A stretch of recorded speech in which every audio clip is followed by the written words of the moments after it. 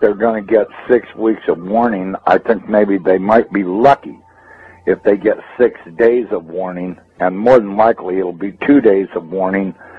And uh, they were told a, a month and a half ahead of time so that that way they'd have time to decide what they wanted to put in their bags. Mm-hmm. And uh, that six weeks of warning is nonsense.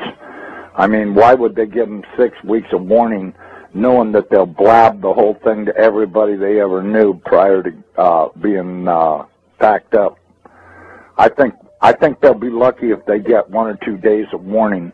They'll get called and say it's time to go, and they'll have 15 minutes to get ready to head out. Yeah, well, that's what I'm saying. You know, I mean, uh, you know, knowing how these guys operate, I don't believe that they'll get two days of warning. I mean, they might get one day or six hours or, you know, a half day or one day or two days. I don't think they'll get more than two days. I mean, really, do you? Might, I think they have a good idea what the trajectory of this thing is, but I think we're not really going to see it until it's right up on our ass. Well, I'll tell you what, that would be my guess that we won't see it until it's on us. But I will tell you one thing, we'll have some really good warnings if everybody's looking up and paying attention.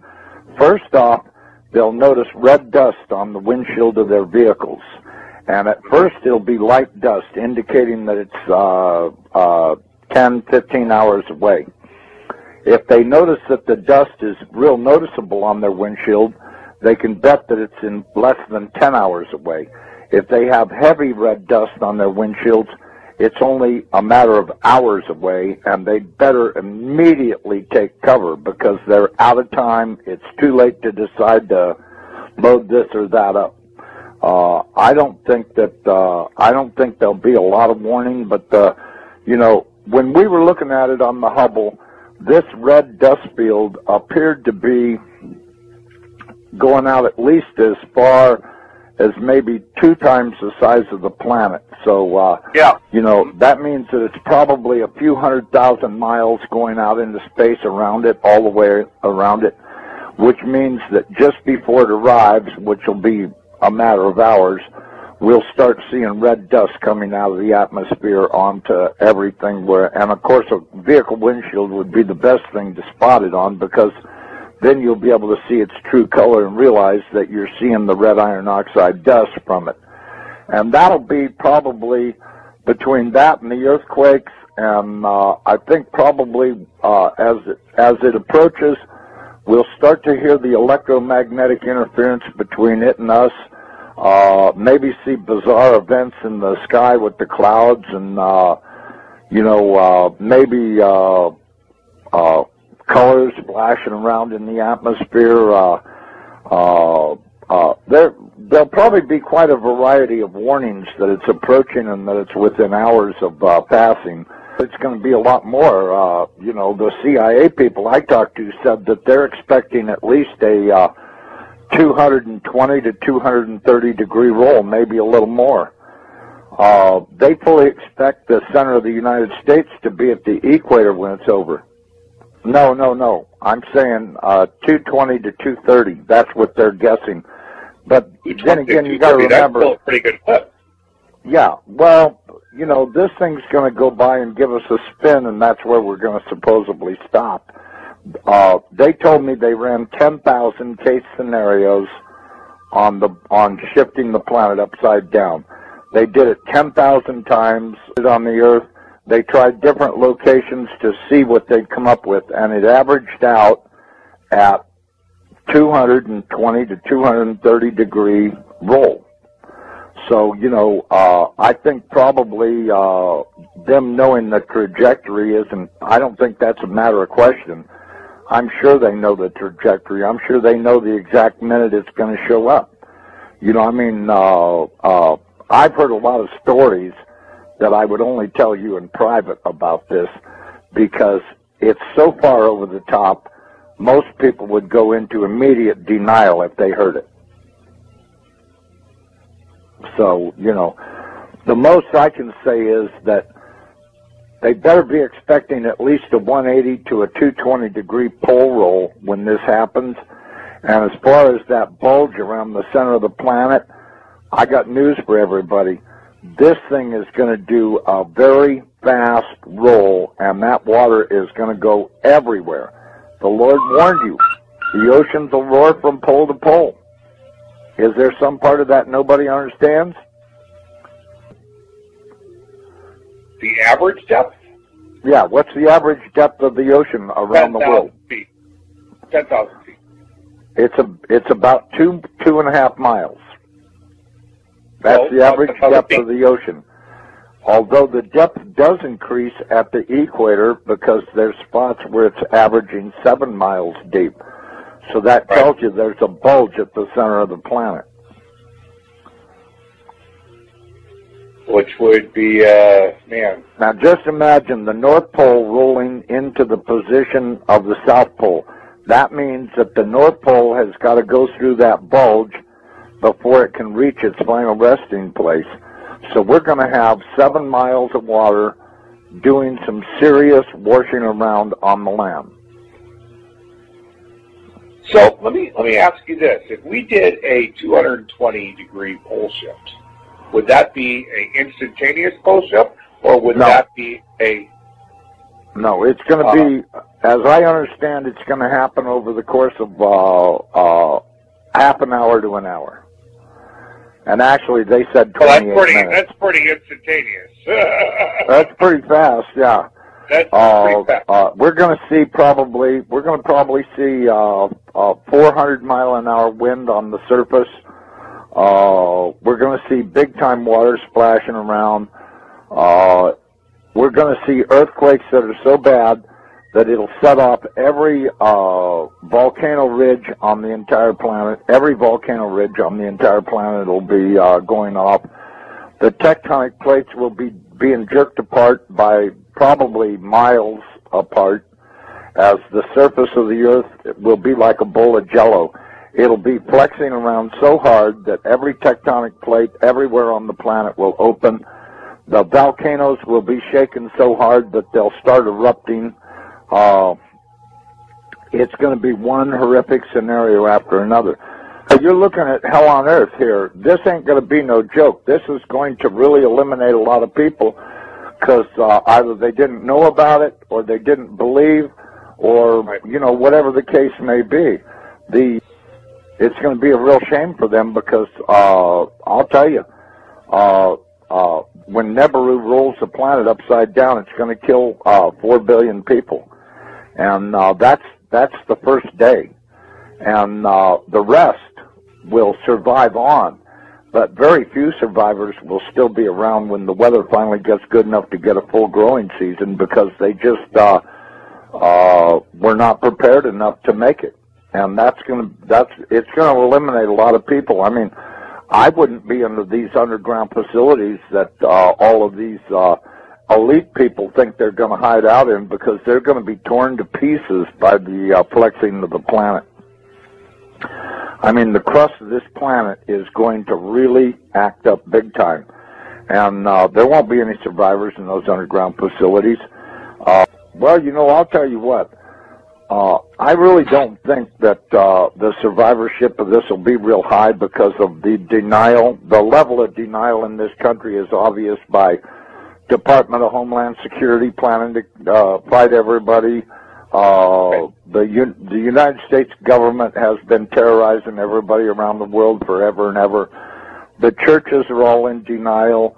Uh, you know, uh, I mean, the Chinese, they take babies and cook them up into stew and stuff. Uh, it's taken over this planet. And that's why I said about the churches being asleep. The churches have Oh. not protested this at all. And, uh, they're gonna pay dear for having kept their mouth shut and been politically correct. This is the one that's gonna cost them their ass.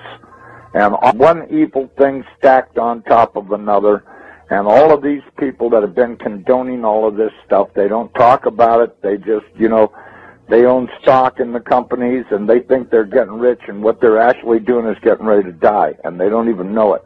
I tell people all the time, guess what? You're probably not going to be alive this time next year, so uh, don't worry about what you're doing.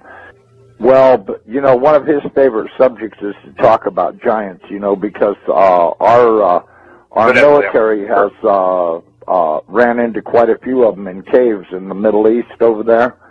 And Yep. uh, they came across several ones that were alive. They've even managed to capture a couple of them. They've had to kill a few of them because these guys aren't little guys. Uh, apparently, they caught one recently that was, uh, I don't know, I guess about 14 feet tall, and uh, they had a hell of a time subduing him. Uh, they discovered that their small arms fire were not very effective against these guys, but uh, you know, when I think about the size of that spaceship that I saw last year going uh, across the mountains here in Colorado, uh, I don't know how big these guys are. Steve Quayle says they're real big, that uh, some of them are as tall as 38 feet. Uh, this thing was big enough to where it could have had a few thousand of those 38 foot tall guys in it, and it would have been no problem because I'm telling you, this thing was at least a thousand feet in diameter, maybe more, and at least a couple of miles long. I mean, it was big. I don't have any trouble uh, understanding that there could be races out there that are real big guys, and there and and and there's no way that you're going to be able to to fight these guys to kill them or anything.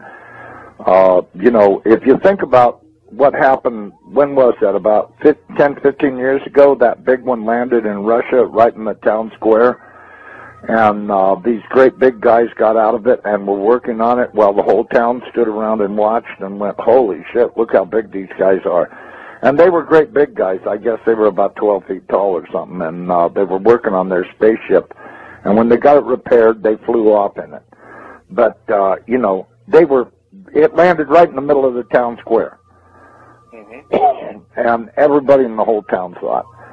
And uh, it was a couple of mentions on the news about it, but not really too much. Mainly in the uh, little rag newspapers and stuff were uh, pictures of it.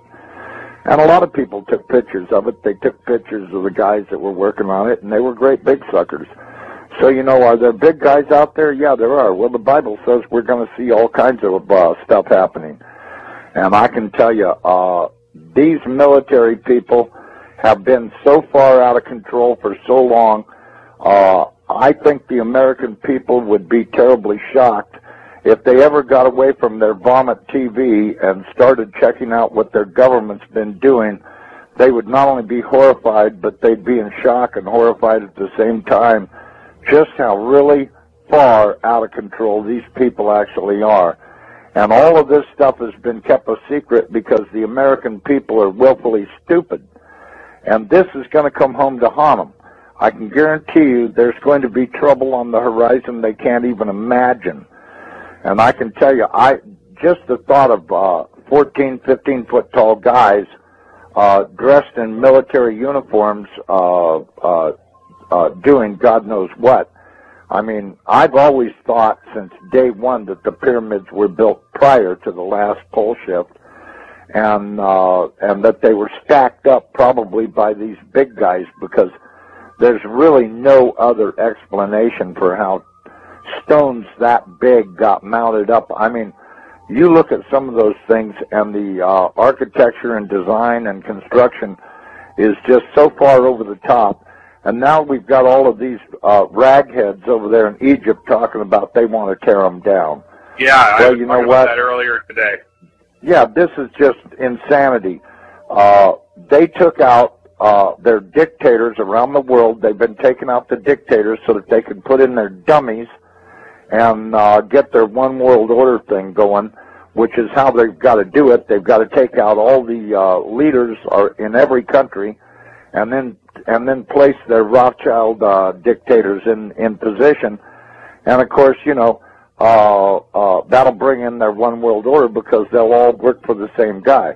But uh, uh, you know, now they've got these morons down there in Egypt that want to tear down the pyramids. They want to do this. They want to do that. Uh, you know, uh, I don't know how they plan on doing it. You know, what are they going to put a nuclear weapon in the thing and blow it up or what? Because they're sure as hell not uh, equipped to dismantle it uh, manually. They'll have to blow the things apart. Uh, they put above all the families on earth.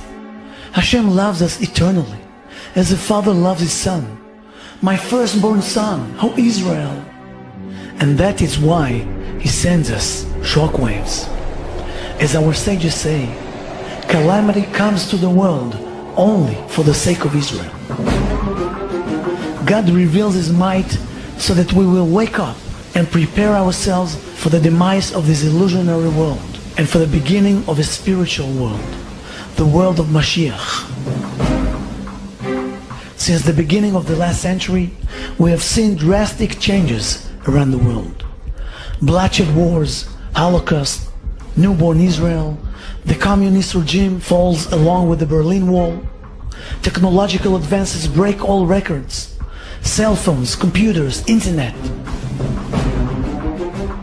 In the past decade, things are happening at an even greater pace.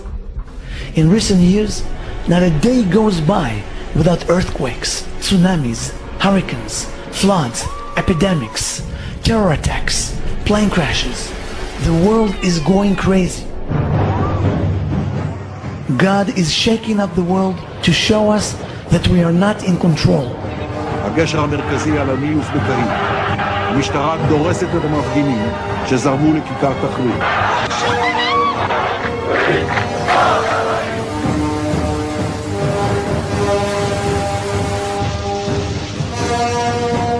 כבר כמעט רגילים לראות את התמונות האלה. אסונות טבע, רעידות אדמה, שיטפונות.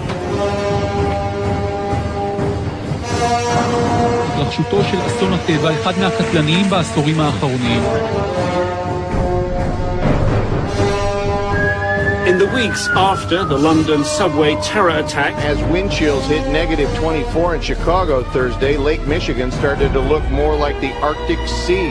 A little before 11, we started getting reports about a fireball in the sky. And this is the coldest February on record. National Weather Service has confirmed that yes, indeed, a tornado has touched down. Now they're telling us two tornadoes.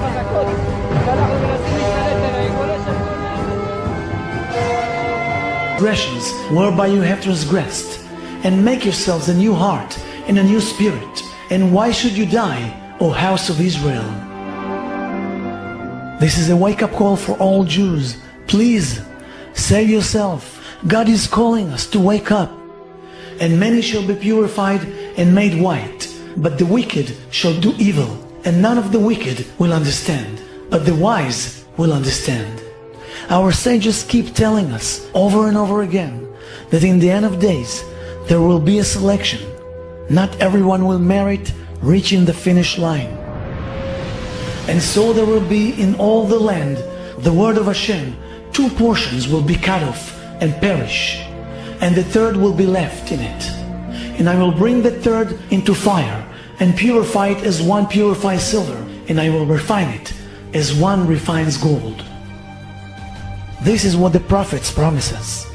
Only the righteous, the modest ones, only those who truly attach themselves to Hashem and follow His ways, only they will last and merit the eternal life in the world to come.